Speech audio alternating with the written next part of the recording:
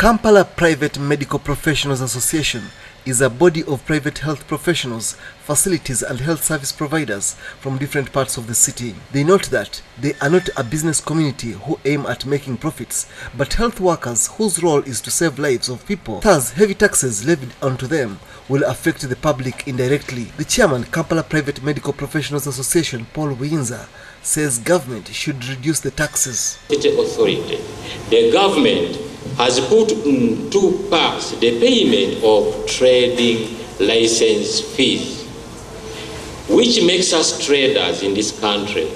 Yet, we are providing social services to the country citizens in terms of health.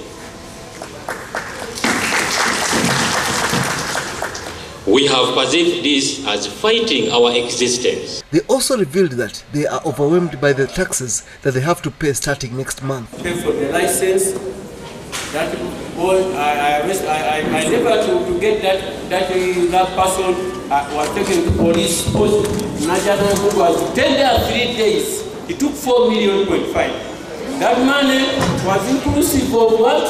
For the pay for the license and for my school fees for my children. Former Member of Parliament Buikwe North, Dr. Michael Lulume Bayigga, noted that the health practitioners were never consulted on the matter by the authorities. Even your professional bodies do not consult you on how much you're going to pay annually. Do they consult you?